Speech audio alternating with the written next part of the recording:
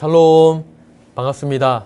범호달고나 33주차 수요일 오늘은 어, 사무엘하 3장의 말씀을 함께 묵상하고자 합니다. 사울은 죽었지만 여전히 사울의 가문과 다윗의 집이 싸우고 있습니다. 왜냐하면 사울의 군사령관 아브넬이 사울의 아들 이스보셋을 허수아비 왕으로 세워놓고 끊임없이 다윗을 대적하게 했기 때문입니다.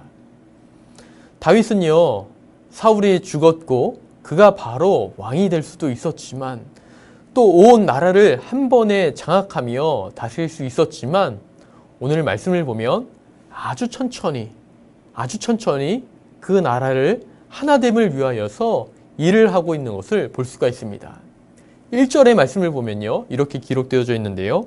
사울의 집과 다윗의 집 사이에 전쟁이 오래매 다윗은 점점 강하여 가고 사울의 집은 점점 약하여 가니라.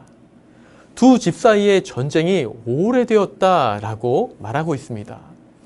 여러 가지 정황상 이 당시에 다윗의 힘은 막강했기 때문에 당장이라도 그 사울의 가문을 무너뜨릴 수가 있었습니다. 그런데요, 다윗은 그 길을 선택하지 않았습니다. 늦더라도 함께 가는 길을 선택했던 것이죠. 그래서 오랜 전쟁이 걸리더라도 오랜 시간이 걸리더라도 온 백성이 하나 되는 길을 선택했던 것입니다. 즉 다시 말하면 이 다윗은요 일보다 온 나라의 관계 그것을 선택했던 것입니다. 여러분 우리가 하나님의 백성이고 자녀라면 다윗이 행했던 이러한 삶들을 우리는 한번 묵상해 보아야 합니다.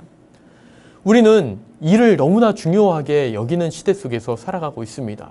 그래서 일을 잘하는 사람이 훌륭한 사람이고 제깍제깍 그 일들을 쳐내, 쳐내는 사람이 뛰어난 사람이 되어집니다.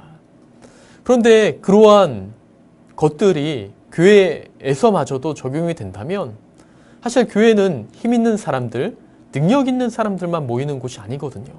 전혀 연약한 사람들, 병든 사람들, 때로는 어려운 사람도 함께 가는 곳이 이 교회입니다.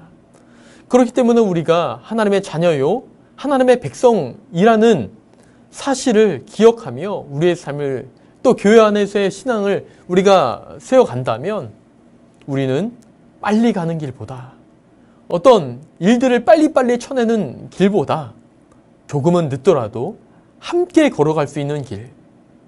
또 일보다는 관계를 중요하게 생각하는 그러한 신앙의 삶을 살아가야 될 줄 믿습니다. 그렇게 될 때에 우리는 조금 답답할 수 있어요. 조금, 아, 일처리가 왜 이 모양이지? 아, 왜 이렇게 늦지? 하는 생각이 들 수도 있습니다. 그런데 여러분, 하나님의 나라는 나 한 사람을 통하여 훌륭하게 일 잘하는 한 사람을 통하여 이루어가지 않습니다. 하나님은요, 함께, 하나님의 마음을 함께 품고, 하나님의 그 나라를 꿈꾸는 사람들과 함께 그 아름다운 하나님의 나라를 이루어 가십니다. 그러면 여러분, 조금 늦어도 괜찮다. 조금 못해도 괜찮다. 우리가 이 아름다운 하나님의 나라, 또 이 아름다운 하나님의 교회를 이루기 위해서는 같이 가야 된다. 함께 가야 된다. 이러한 사실을 우리는 기억하면서 우리의 신앙을 감당해 간다면, 만들어 간다면, 여러분, 내가 속한 공동체가 조금은 늦지만, 조금은 더디지만, 조금은 이상해 보일 수 있지만, 그래도 아름다운 하나님의 나라, 하나님께서 기뻐하시는 아름다운 하나님의 나라가 이루어지게 될 줄 믿습니다.